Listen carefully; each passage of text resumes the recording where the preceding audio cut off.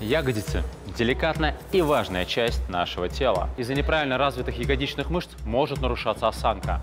Особенно это актуально для тех, кто мало двигается и много сидит. Так как же накачать ягодичную мышцу, от которой так много зависит? Сегодня я вам покажу упражнение, которое можно делать, не выходя из дома. Одним из лучших упражнений для проработки ягодичных мышц являются выпады. Я вам предлагаю делать выпад шагом назад. Когда у нас прямой угол между голенью и бедром, вся нагрузка ложится на заднюю поверхность бедра и большую ягодичную мышцу. И когда вы поднимаетесь вверх, у вас акцент идет на пятку. Именно так обеспечивается максимальное сокращение большой ягодичной мышцы. Поехали.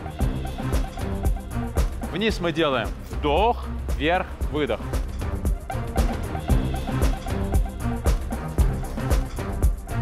Делайте это упражнение хотя бы один раз в день, и у вас будет очень красивая осанка.